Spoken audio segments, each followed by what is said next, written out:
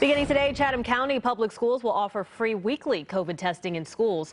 Parents, you must choose to opt in if you want your child tested. A parent or guardian must consent one time for any student under the age of 18 to participate. The weekly COVID testing is free with a grant covering the cost of the program.